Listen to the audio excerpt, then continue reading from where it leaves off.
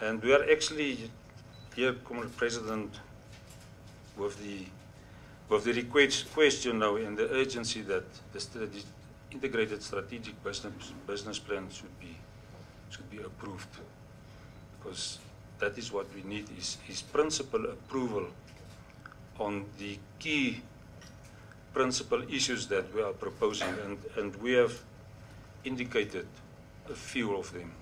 As part of the plan, the state owned enterprise wants to close all non core business operations and streamline the company to run it along generally accepted business practices. The company also wants to sell off property which is not economically viable and and use the between the ones that are viable as a guarantee when sourcing funding from financial institutions.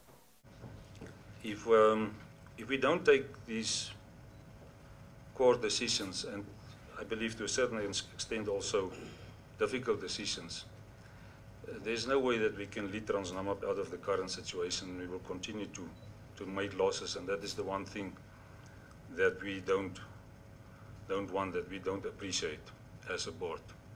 The Cabinet Committee on Treasury is, however, concerned that the business plan seeks to break even financially only.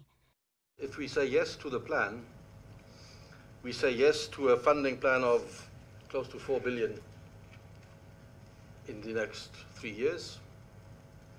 Now, now that's a big amount of money, and that is not that does not include the the rail infrastructure. An amount of about $150 million owed to creditors is haunting the company. The days of, of us approving business plans which we are not 100% certain of are feasible, bankable, is a thing of the past.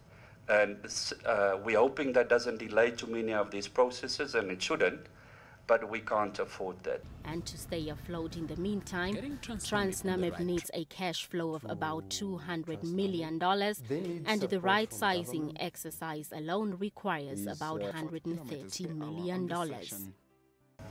Whatever is being presented here is completely not new to the ministry. These are issues that uh, the ministry and the cabinet committee on treasury have been seized with. Government has been deliberating injecting cash into the company since February for it to take over the upgrading and maintenance of railway lines. Very railway is very important in a vast country like ours. We fix the roads, but heavy load of these trucks destroy what we are fixing. So long-term solution is to take care of our railway system. So we are together. If we didn't listen to you earlier, doesn't mean we are not sympathizing with your plight. Your plight is our plight.